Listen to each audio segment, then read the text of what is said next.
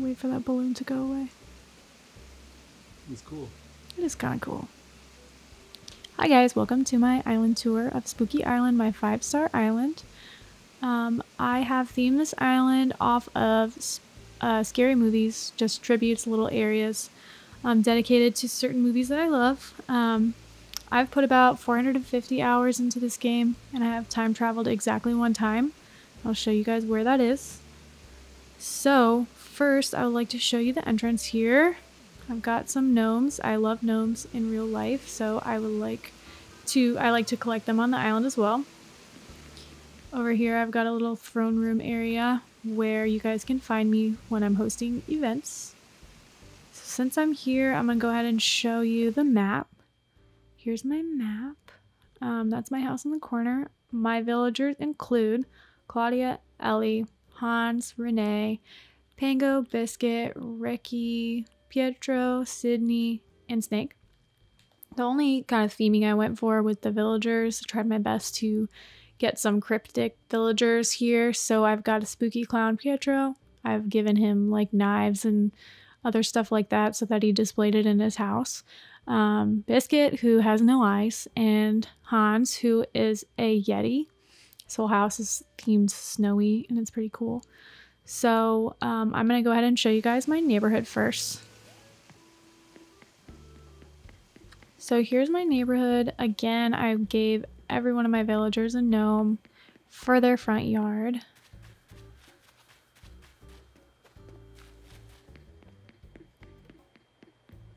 I wanted everyone to have their own individual little area while taking up the least amount of space possible because this kind of stuff can take up like a whole lot of space on your island.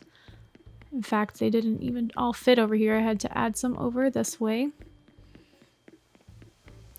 So here we have my resident services area. You've got Brittany here watching over us, making sure we're safe. So my community area includes the neighborhood. I've got a little park area for my villagers as well. There we got Claudia moonbathing, which is cool. So here's my park area. I wanted to add some little Nova lights. I think they're really cute. And then I've got a community beach here.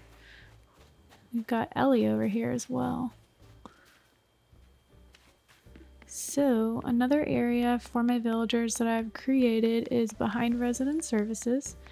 So um, I decided to place all my extra flowers in this little fenced in area because I do try to grow some hybrids. So whatever I'm not using, I put there.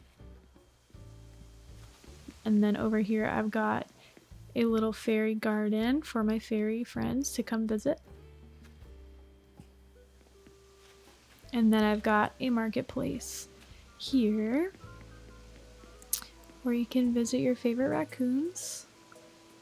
So my first movie tribute is um, Killer Clowns from Outer Space, my favorite movie ever. So this is my biggest and favorite area of my island. Um, this movie is just literally about clowns from outer space that come to kill people at a carnival. So I decided to add like some carnival stuff as well as some space stuff. I feel like they went together nicely here. Um, and down here we got a little snack bar area. Complete with jester costumes.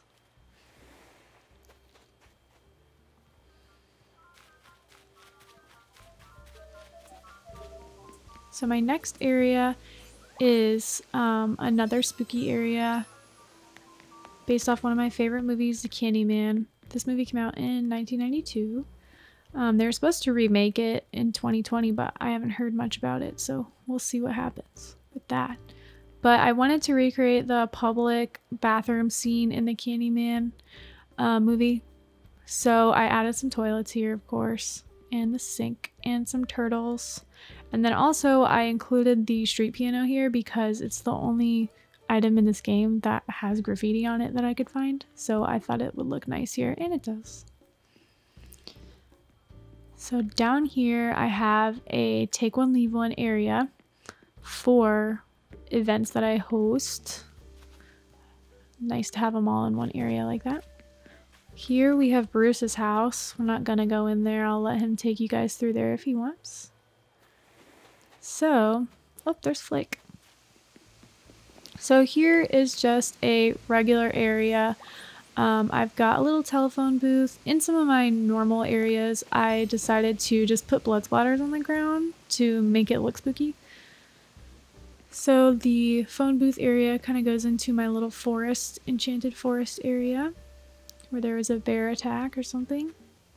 Uh, in this area, I eventually want to put some mushroom furniture and stuff, but I don't time travel, so I haven't uh, gotten it yet. It's still summer for me here. So over here, I've got a little picnic area. And then down here, I've got a little bloody boardwalk complete with outdoor library where all the books are laminated, just in case. Like this area. I think it's really cute. It's not necessarily spooky though.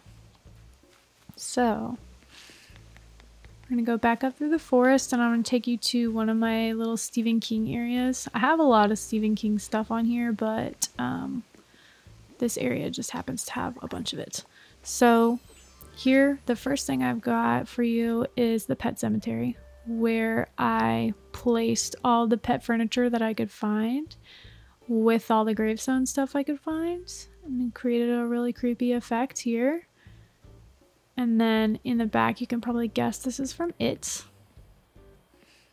It's pretty simple, but you can definitely tell what it is. So back here, I'm a big fan of The Twilight Zone. Um, this is the TV show that came out in 1959. I made a lot of this stuff actually. I used clothing designs to conserve my um, regular design spaces. I think it worked well. Um, got a little movie camera in the back so you know it's from the TV show. So, next I'll take you guys up to this area, the only spot where I ever time traveled.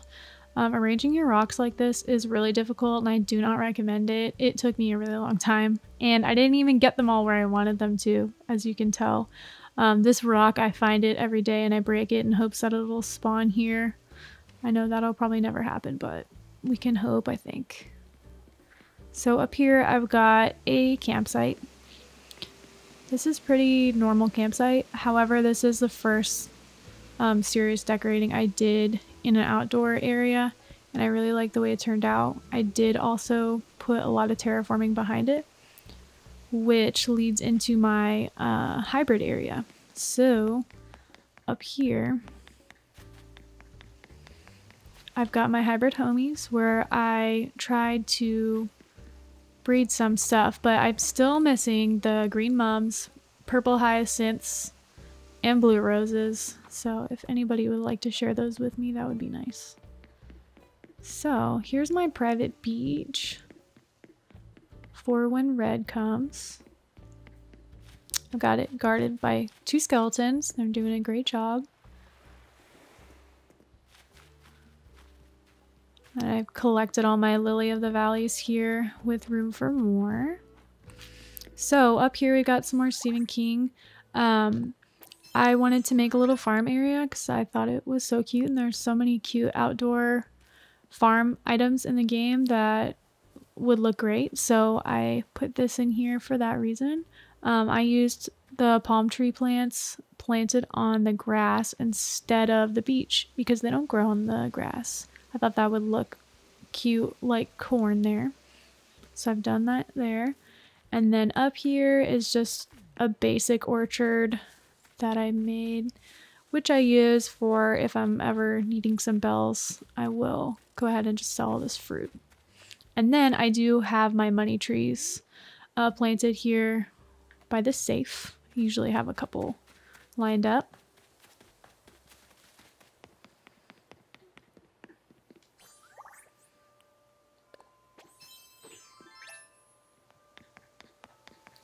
So Beyond my campsite here, I have got a little Twin Peaks tribute. I'm a big fan of the Twin Peaks TV show. Um, came out in the 90s. Here I've got the backdrop of Twin Peaks, Washington mountains there in the Twin Peaks Sheriff Department, which I did make this sign here. I've got a prisoner turtle back there. And then next door, I've got Norma's Double R Diner, where we've got a snapping turtle date happening. Hope everything's going okay for them. There. Got cherry pie on the counter there. So, next, this is an extension of my community area. It's the, just basically the pool where friends and turtles can swim if they want to.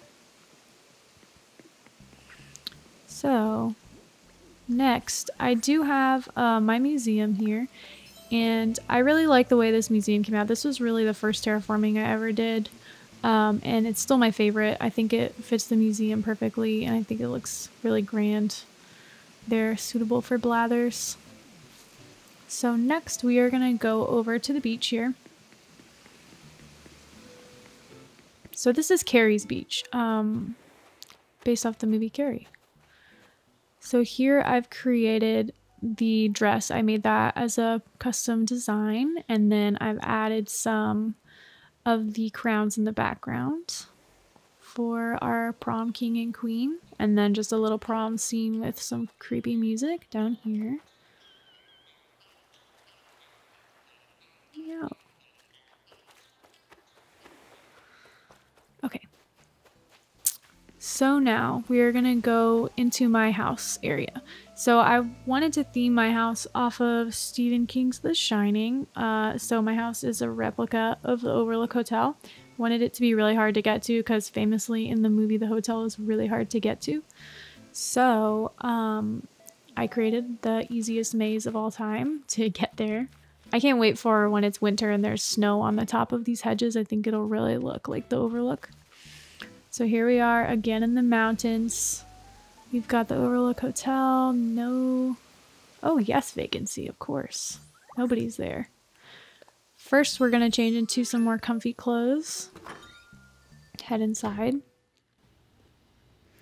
So this is the Great Hall area of my hotel. Um, I put in just some really rustic cabin decor to fit the um, overlooks theme. And back here, as you can see, I do have my typewriter. For Jack, all day we type. You can see by his giant stack of papers that he's been typing for a long time.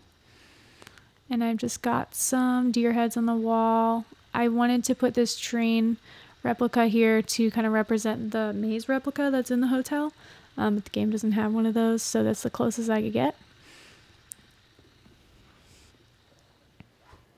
So this area is the creepy bathroom where the lady tries to, the old lady tries to kill Danny. Um, there she is in the back there.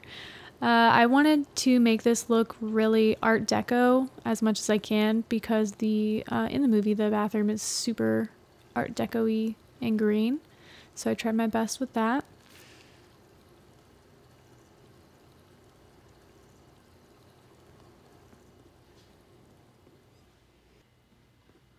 So this is my office um, where Jack gets his job interview and where they eventually try to call for help when the um, power lines or if telephone lines go down. Um, I wanted to just make this generally looking like an office and I had all this wall stuff that I really liked but I had nowhere to put. So here it is. I put it all in one room. I think it looks really good though. I think it looks like your classic office.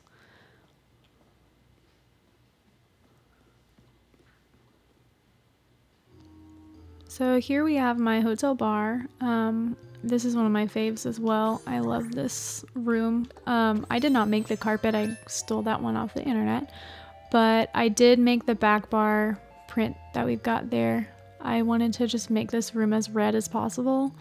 Um, so I've just added some Art Deco wallpaper. And then I've got my creepy golden candlesticks there. And then we have KK Swing playing in the background. Super spooky.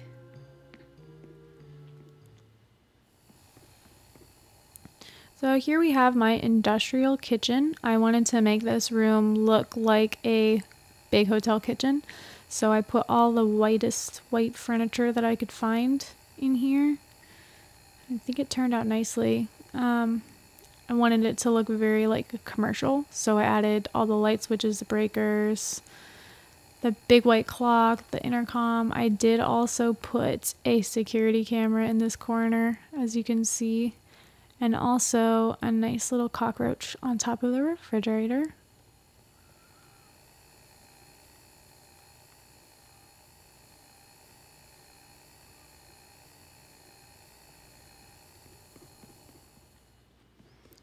So upstairs we've got a little hotel suite. This is one of my favorite rooms as well. I just think it looks really cute the way um, it's set up with the studio bathroom little apartment here.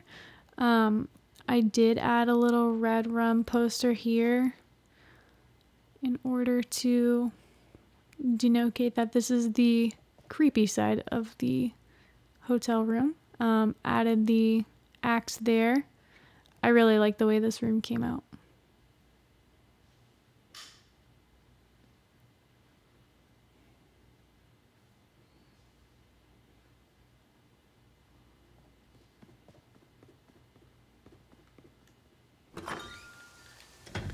So there's just one more area for us to take a look at. Um, it is up here. Like I said, my heart, house is really hard to get to. But here I've created something for you guys to interact with. Um, I wanted to make a spot where I could recreate things that our viewers send to us. So um, if there's something you'd like to see me recreate here, um, I will go ahead and give it my best shot. Oh no, I got bit by a mosquito. Wow.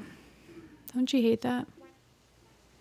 Anyway, so if you'd like to see something recreated here, go ahead and just comment on this video or you could um, send us a direct message or tweet at us on Twitter or Instagram. You should see our information for that up on the screen now as well as posted in the description.